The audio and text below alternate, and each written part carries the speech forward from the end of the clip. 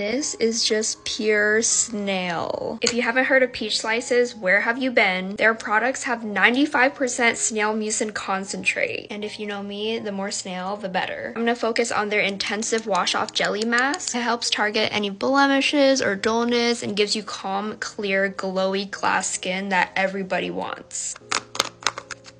Can we just take a look at that consistency? All I have to say is wow. This is so hydrating. Make sure you apply it to clean skin. Look at how glowy my skin already looks. It's been 15 minutes, so I'm gonna go ahead and wash the jelly mask off now.